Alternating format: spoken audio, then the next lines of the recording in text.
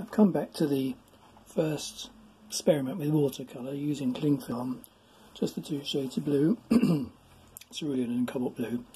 Um, looking back to my photographs, I've got a feeling this little rocky scene is going to work quite well with it. So I'm going to use a simple palette of yellow ochre, some cadmium red, and a tiny bit of cobalt blue to create a pale sort of pinky rocky colour. I'm just going to follow the stripes using a flat brush. Just create the illusion of rocks, not in any exact manner, but in a sort of free flowing manner. So we've got the idea of rocks with little gaps between them, some bubbling surf. Okay, just following the angles here.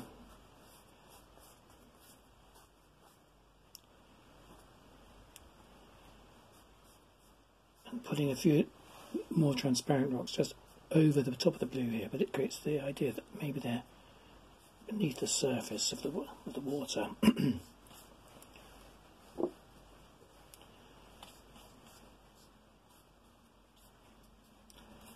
so that creates a sort of rocky look. My plan is though to use the figure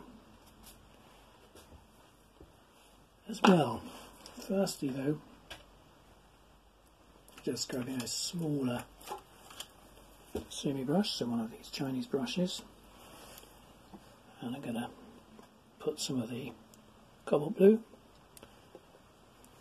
some of the cadmium red, create a dark purple, a little bit of the yellow ochre, so we're getting a a brown, and now I can come in and I can paint the sort of cracks in the rocks.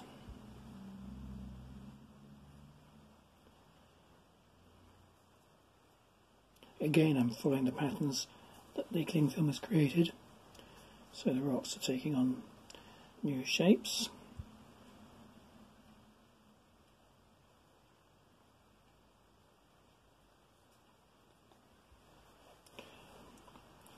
So this isn't an abstract painting, but it's abstracted, if you follow me. The idea is it's just taking the idea and working into it. So I've now mixed up a little bit of a stronger blue. Just added basically some cerulean blue to the brown mix to create some little darker passages, sort of where the water's coming in between the rocks.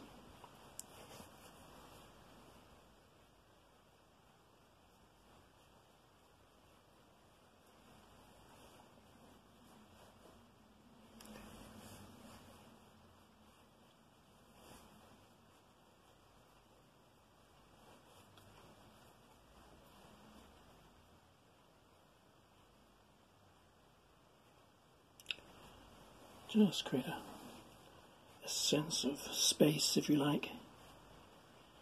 So I'm taking the, the colours, you know, each area, I'm taking this area you know, responding to the area here and so on, but not following it exactly, just literally painting, I'm holding the brush right at the end, just flicking shapes in.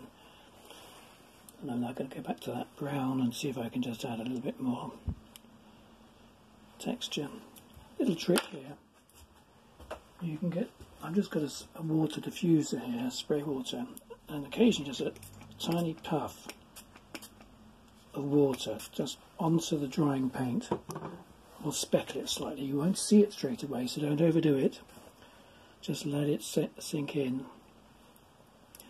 Um, whilst that's sinking in, I just got to go back and see if there's anything else I can do to improve my my rocks, the shadows, and so on. And just I'm also very conscious that apart from going for an effect, I'm trying to create a composition. Part of the trick of creating a composition is to respond to the shapes in a, in a, a dynamic way, a way which creates balance and harmony, but also creates an interesting pictorial surface where you've got different shapes playing with each other, responding to each other. and so on. So last last bit, I'm going to just put in a little cerulean wash right at the top, just to create the idea of the water. I haven't pre-wet this by the way, I'm just taking strokes and adding to the surface. The water bubbling away, creating a little bit of interest in the in the distance. So what I need to do now is come back to the figure.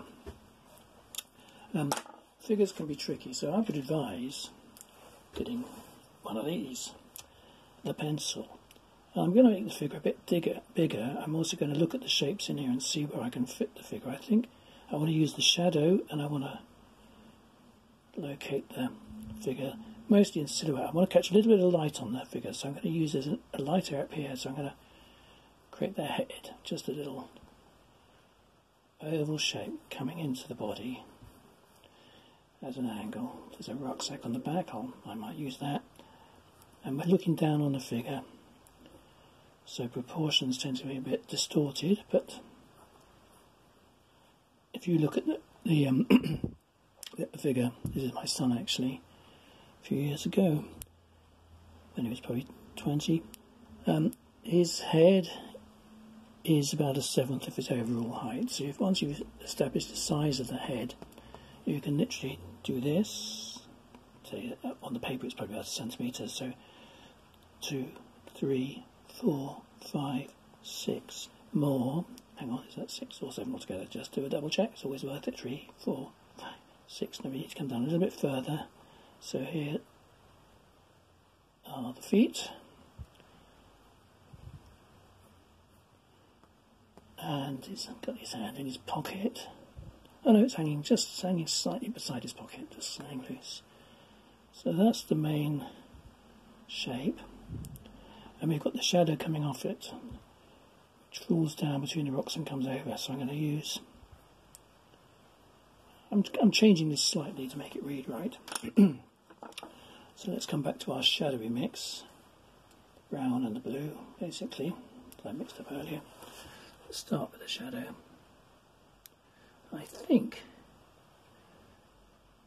it's almost dry enough to take this. Look at shadows carefully because they they're not necessarily what you expect, as they especially as they fold over shapes and so on. So we've got the shadow falling into the gap between the rocks, then coming back on the next drop down. Now let's come to that. Have I got that far enough? Yeah. I think let's just bring it over a little bit more.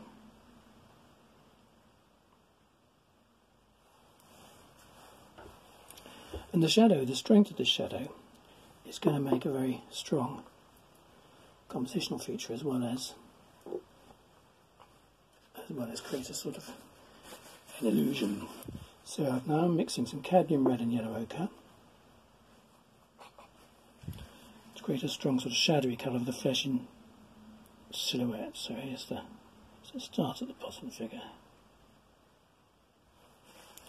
Legs. It's a, it's a sort of browny orange colour I've mixed out of that. Arm coming down. And then we can go into a, a pale, it's got a scarlet top on, so it goes to just a pure cadmium red here.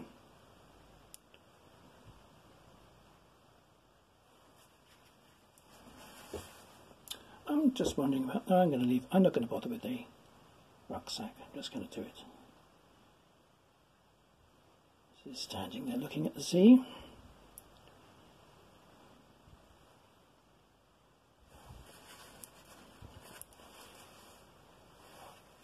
His shorts are a sort of grey colour, so I'm just going to use a cerulean blue with a little bit of brown in it. Just so they stand out against the colours of the water behind.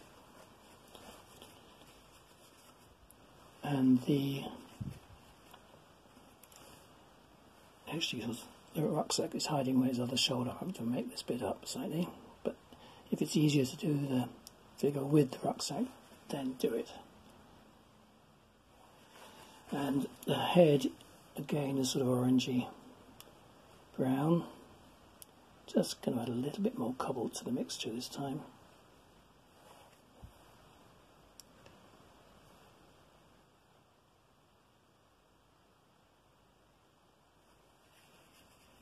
And we've put the shadow from the head on top of the shoulders. So I'm just going to put some cadmium and cobalt blue together to connect that up here, just create a little bit of a shadow falling down the back. Now the trick of this is to use some highlights here to create the uh, sense of the figure. So what I'm doing is I'm taking some white gouache. Now, if I had anticipated doing this painting from the beginning, I could have masked out these little highlight areas with masking fluid, and that would have been fine. But it was done as an experiment. I didn't know that was going to happen. So you can use gouache as a way of getting your white colour back again. Now, the, um, I don't think it's a bad thing to use gouache because body colour or gouache or Chinese white has been used by watercolourists for centuries. Turner, Constable, Girtin, they all used gouache. So um, it's not a cheat really, just a bit of a cheat. I'm also using a little bit of the gouache with the cadmium just to create a, a brighter pink for the where the catching the top of his shoulder. Here. And I'm going back into the hair just to put a little bit of brown. Clean my brush up. Let's do this again. I think actually I'm going to take a bit of umber here. Just because my palette's a bit dirty. A bit of umber. This is raw umber, but you could use burnt or raw umber. But what I'm trying to do is just create a little bit more shadow.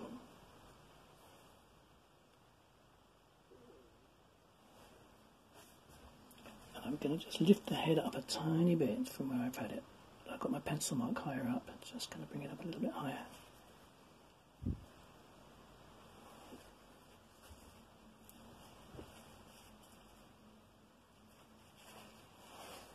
And now I'm going to go back into the arm, back into the hand, little touches of white, just little flashes.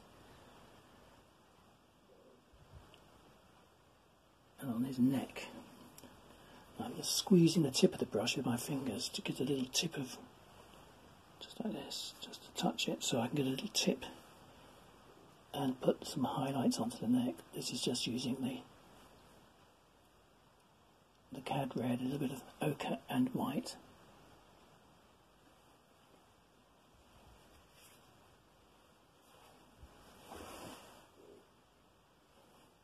So although I've put something like a realistic figure into this painting, the surroundings are very much stylized and created out of the natural or the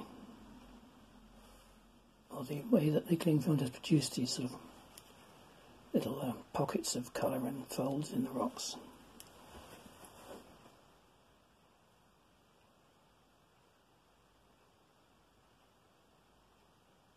So it's just little points of light I'm trying to put into it to create a bit of form. And then lastly, the brush again, going back to my gouache. Now gouache is, um, if you use gouache, it's a very, um, just, I'll show you the palette. It's a, it comes out of a tube in a, quite a sticky mixture, and that's great for doing little highlights like I've just done. Um, sometimes you need to get it to water it down a bit to make it flow with the watercolour. So all I'm going to use it for now is just a tiny bit of water. It's for a few little flicks and splatters to suggest that there's just picking up actually again on the patterns that are underneath. There's a bit of sparkle in the water as it's lapping up against the rocks.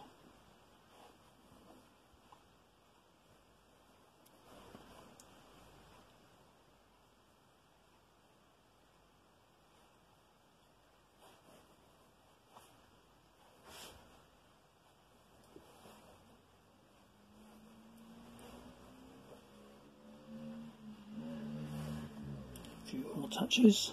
Don't overdo it. Cole, you're being probably a little bit over ambitious, but there we are. Let's just see if it works. With watercolour though, you can go back, you can correct mistakes. A lot of people think once it's on, it's on. You can you know, damp a colour, use a sponge, use a tissue. Little touches can often get you back to the paper. And in other videos I'll be showing you some other tricks of how to do that. I just wanted to create a loose dynamic effect in this in this sketch so hopefully hopefully it's worked. There we go. A sort of interpretation of the scene. So I bring the scene over, I'm just going to show it to you closer. So we've got the scene here. So like I've sort of zoomed into that sort of part of it. And here's the painting.